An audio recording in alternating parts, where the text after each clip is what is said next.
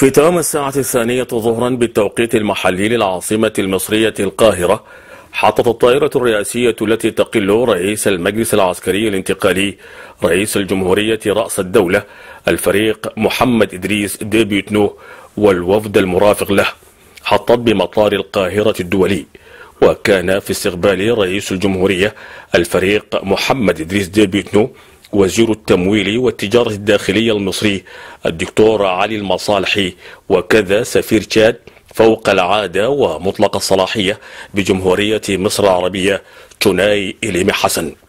كما كان في مقدمة مستقبلي رئيس المجلس العسكري الانتقالي رئيس الجمهورية الفريق محمد إدريس ديبيدنو كل من وزير الشؤون الخارجية والتكامل الإفريقي والتاديين في الخارج السفير شريف محمد زين والمستشار الخاص برئاسة الجمهورية السيد محمد صالح عبد الجليل ومستشار رئيس الجمهورية في البنية التحتية والنقل والطيران المدني ومتابعة المشاريع والتنمية السيد عثمان عبد الرحمن جوجرو وعدد من المدراء بوزارتي الطاقة والمناجم وأفراد السفارة التشادية بجمهورية مصر العربية. هذا وقد تبادل رئيس الجمهورية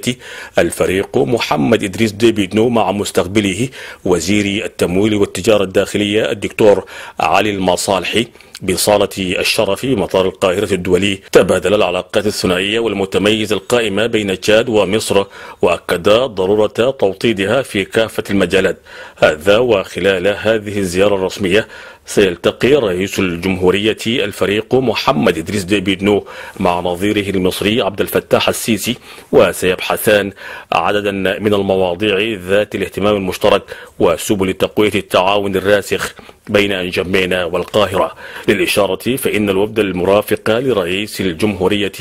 يضم وزير الدفاع الوطني ونائب مدير المكتب المدني برئاسة الجمهورية وسكرتير الخاص لرئيس الجمهورية وبعض المستشارين ومعاوني رئيس الجمهورية.